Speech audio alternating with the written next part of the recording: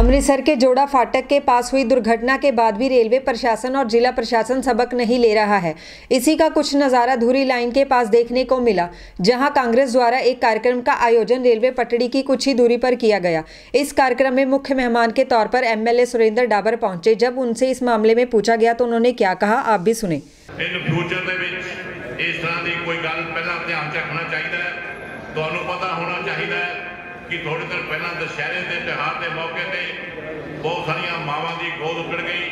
ਬਹੁਤ ਸਾਰੇ ਬੱਚੇ ਆਪਣੇ ਮਾਪੇ ਤੋਂ ਜੁਦਾ ਹੋ ਗਏ ਤੇ ਫਿਊਚਰ ਦੇ ਵਿੱਚ ਐਦਾਂ ਦੀ ਜਿਹੜੀ ਗੱਲ ਹੈ, ਪਹਿਲਾਂ ਸੋਚੋ, ਵਿਚਾਰੋ ਤੇ ਫਿਰ ਤੁਸੀਂ ਇਸ ਤਰ੍ਹਾਂ ਦਾ ਪ੍ਰੋਗਰਾਮ ਰੱਖੋ। ਜੇ ਮੈਨੂੰ ਪਤਾ ਹੁੰਦਾ ਕਿ ਤੁਸੀਂ ਰੇਲਵੇ ਟਰੈਕ ਤੇ ਕੋਲ ਪ੍ਰੋਗਰਾਮ ਰੱਖਿਆ ਤਾਂ ਸ਼ਾਇਦ ਨਾ ਮੈਂ ਆਉਂਦਾ ਤੁਹਾਨੂੰ ਮਨਾ ਕਰ ਦਿੰਦਾ। ਔਰ ਇਸ ਗੱਲ ਦਾ ਤੁਸੀਂ ਅੱਗੇ ਤੋਂ ਧਿਆਨ ਰੱਖੋਗੇ। ਮੈਂ ਇੱਥੇ ਮੀਟਿੰਗ ਰੱਖਣ ਨਾ ਦਿੰਦਾ। ਫਿਊਚਰ ਇਸ ਗੱਲ ਦਾ ਧਿਆਨ ਰੱਖਾਂਗੇ।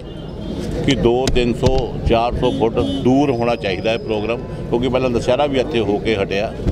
ਉਹ ਵੀ ਮੈਂ ਸਮਝਦਾ ਕਿ ਗਲਤ ਹੈ ਰੇਲਵੇ ਟਰੈਕ ਦੇ ਰੋਲ ਉੱਥੇ ਤਾਂ ਭੀੜ ਬਹੁਤ ਜ਼ਿਆਦਾ ਹੁੰਦੀ ਜ਼ਿਆਦਾ ਦੀ ਗਿਣਤੀ ਤਾਂ 2 300 400 500 ਯੂਥ ਇੱਥੇ ਇਕੱਠਾ ਹੋਇਆ ਔਰ ਬੜੇ ਇੰਟੈਲੀਜੈਂਟ ਮੁੰਡੇ ਨੇ। ਉਹਨਾਂ ਨੂੰ ਇਹੀ ਕਹਿ ਰਹੇ ਜੇ ਉੱਥੇ ਬਕਾਇਦਾ ਬੰਦੇ ਪੁਲਿਸ ਦੇ ਲਾਏ ਨੇ ਕਿ ਉੱਧਰ ਕੋਈ ਬੰਦਾ ਨਾ ਜਾਵੇ।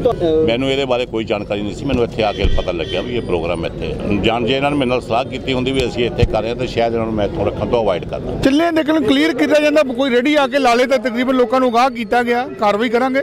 ਬਿਲਕੁਲ ਰੋਕਾਂਗੇ ਵੀ ਲਾਈਨਾਂ ਦੇ ਨਾਲ ਨਹੀਂ ਲੱਗਣ ਦੇਵਾਂਗੇ ਇਹਨੂੰ।